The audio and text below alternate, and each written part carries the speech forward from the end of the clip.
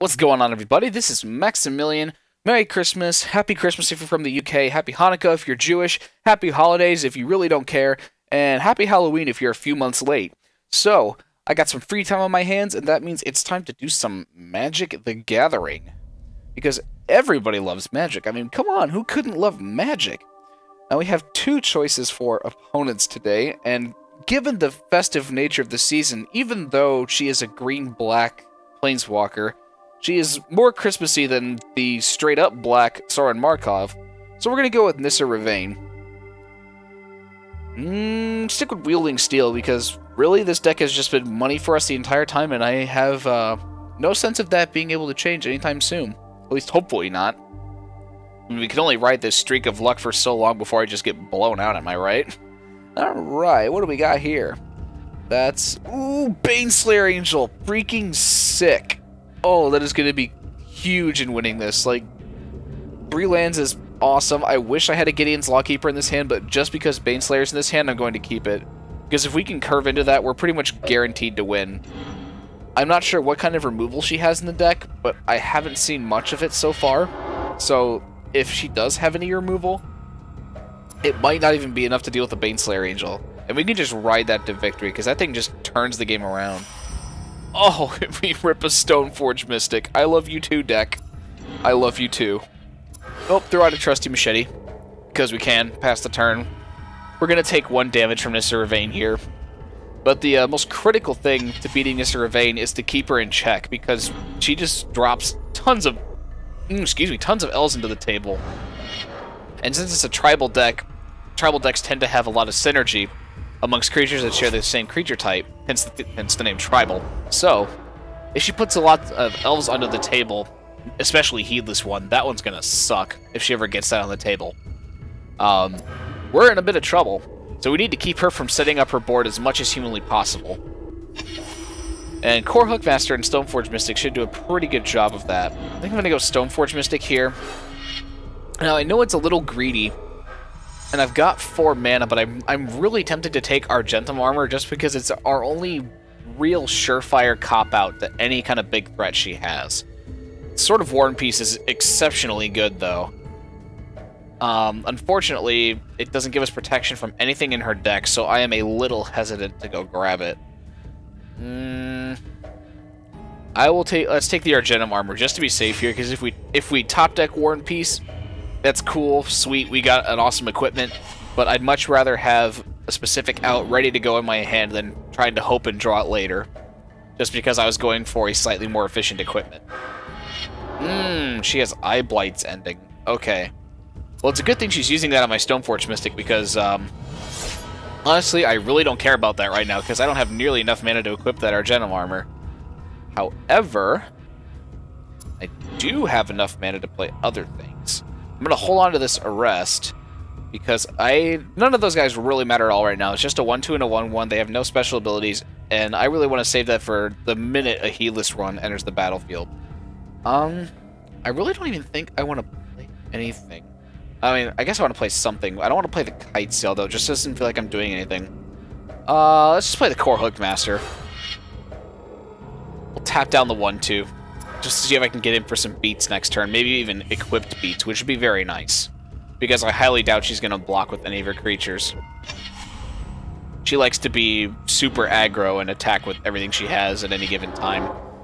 Mmm, Imperious Perfect. Now that's a card I'd like to arrest, because that thing just poops out little 2-2 elf tokens, effectively because of its plus one plus one bonus. And the longer that thing stays on the board, the uh, more closer we get to death. Let's go ahead and arrest that. Alright, um... I don't want to attack because I'd rather equip it and then attack with it. Uh, actually, you know what? I have a land in my hand. I'm going to be curving into Baneslayer Angel next turn anyway, so if she really wants to block and trade, I'm actually okay with that. Let's go ahead and attack with the Kor Hookmaster. Yep, she's she's chumping. That's fine by me. Less fuel for the heedless one. See, the tribal decks are all about getting as many creatures of your same tribe onto the board as possible, And you can develop really good board states with lots of creatures in the same tribe, but at the same time, just little individual pieces don't tend to do much. They're they're very synergistic and they're dependent heavily on that synergy. Whereas with this white deck, if I can just drop one solid threat, I can just throw that threat at her constantly over and over again until she has something to deal with it. And then by then I should have something else to throw on the board. So yeah, we're definitely going Baneslayer Angel here. Because that card just takes over games, especially with lifelink. Not only that, but it blocks like a champ. Seeing as how it has first strike, she's got to throw something with at least 6 toughness at me in order to do anything. Okay, Elvish Visionaries are random cantrip, so I don't care about that at all. Uh, yes! Yes! Cast the Argentum Armor. Okay, now we are in business. Now we have enough mana to readily equip that, and we can just start shooting all of her threats as they come into play. The first thing I want to get rid of, though, even though it is currently arrested, is that Imperious Perfect, because it's giving a tribal bonus to all the elves that she has in play. And it's a little annoying. I really would rather not have to deal with that. And she's probably going to swing back because she knows she can't block, so she might as well get in. This is where Baneslayer Angel really shines, because Lifelink just almost completely negates any kind of offensive effort uh, Nissa's going to do, because the tribal deck usually attacks with a bunch of small creatures, and unless she has a very well-developed board, it's just not going to be able to make any progress whatsoever. Now, let's see what I have here. Oh, Kor Duelist would be fantastic with uh, Argentum Armor, but I really want to equip that to Baneslayer Angel since I can just fly over everything. Yeah, let's equip that to Baneslayer and destroy something.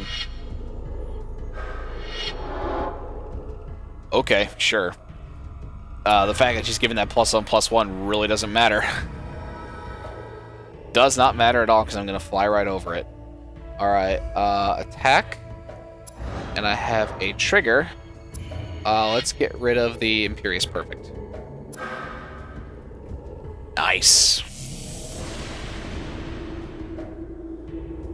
And now she's to take a bunch of damage, and I'm to gain a bunch of life. And I really can't see any way out of this for her. I am pretty sure she's just dead. Yep, she knows it. She's just going to swing with everything for giggles, but it's not going to make a dent in my life total because of the stupid amount of life I'm gaining right now. Man, that is a deadly combo. Baneslayer Argentum Armor, are you kidding me? Like, in this game, that's practically cheating. Alright, she's to make a bunch of 1-1 elves that don't do anything. Because I'm pretty sure that everything in her deck is ground-based, and I'm pretty sure nothing in her deck has flying, so... As long as nothing in her deck has flying, I just win.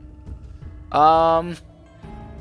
You know what? Just for giggles, I'm gonna throw out Gideon's Lawkeeper. And Kitesail. And everything else in my hand. Because it really doesn't matter. Kitesail will help me to fly over and win the game, even if she somehow kills my Baneslayer Angel here. Uh, I want to... I don't want to... Well, I don't want to kill that. Um... Kill your one. Kill your one, too. Why not? It doesn't matter. Ah, victory! And we are one Planeswalker closer to getting to, I guess, what we would call the boss Planeswalker of the game, who is Karn, the Silver Golem. And the stupidly cheaty face deck that he has, just absolutely broken how powerful his deck is. But that is another duel for another time. Thanks for joining in again, as per usual, guys. You're the best. I love it when you watch some videos. I love it when you comment. And I love it when you throw random funny anecdotes at me. So, send me a message or leave a comment. Write me something funny. Maybe some kind of funny story that you had over Christmas, uh, something that happened to you recently, or maybe it's just a cool joke. Leave a comment, because that's always awesome when I read comments. I like it when you participate. So, thanks for tuning in again, guys. Until next time, this is Maximilian. See you later.